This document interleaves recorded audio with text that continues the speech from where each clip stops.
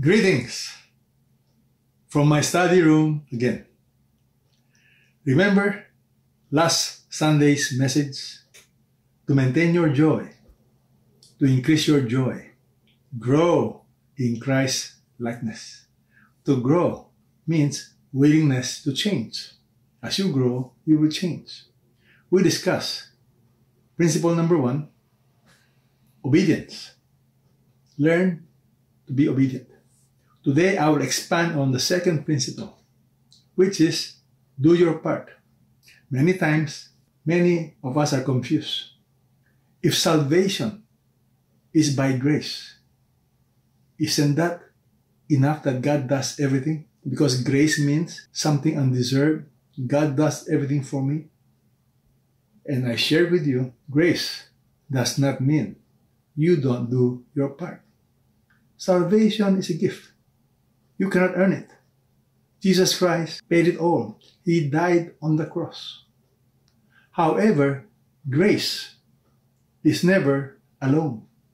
Faith is never alone. The Bible is very clear. Faith without works is dead. It's called counterfeit faith. It's called fake faith. It's like the doctor tells you, take this medicine and you're guaranteed to get well.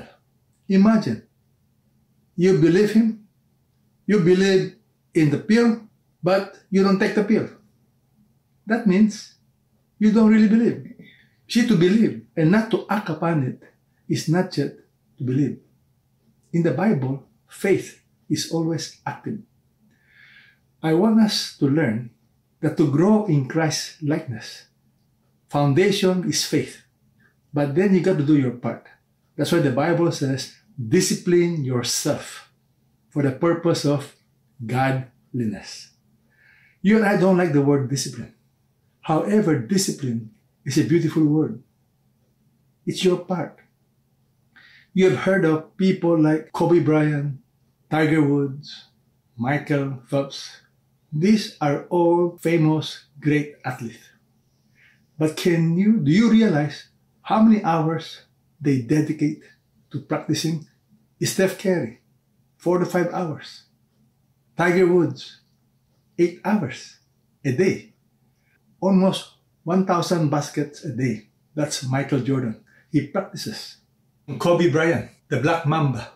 Why did they call him the Black Mamba? According to him, he practices seriously. When he practices, it's like a real game. Notice, as you see them, they do things so easily, so naturally. Why? Because they've been practicing. They've been disciplining. Many Christians don't realize to be godly, you need to practice. You need to do your part. And our part is to discipline ourselves in certain spiritual habits. Prayer, Bible reading, meditation, memorization of scriptures. As you practice these things, it becomes second nature. And the beauty of becoming second nature, you experience real freedom. Freedom to do what is right. And the Bible tells us godliness and discipline go together. I pray that you will practice the habit of doing your part. I pray that during this time where you have lots of time, you will use it wisely. Read the scripture, memorize verses, learn to meditate. As you practice these things, it will become a habit. And once you form godly habit, your character is transformed. To be a good follower of Jesus, to be Christ-like, learn to practice. Learn to be disciplined. And that's how you become Christ-like. So I pray that you will take this doing your part seriously for the glory of God. Remember the Bible verse? It says, work out your salvation with fear and trembling. Work out. Do your part. Discuss with your family. Discuss with your children. Discuss with your parents.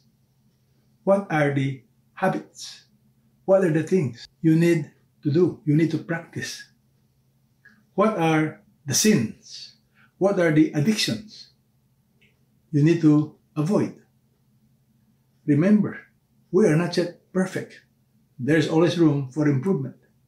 So ask each other, what area do you need to improve?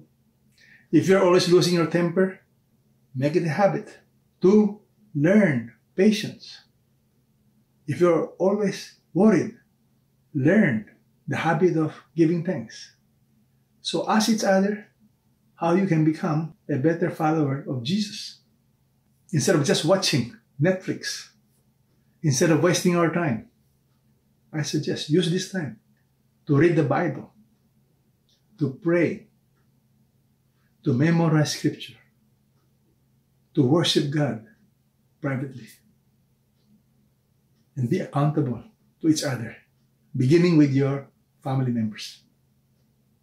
The Christian life is a joyful life once you develop the habit of Christ likeness.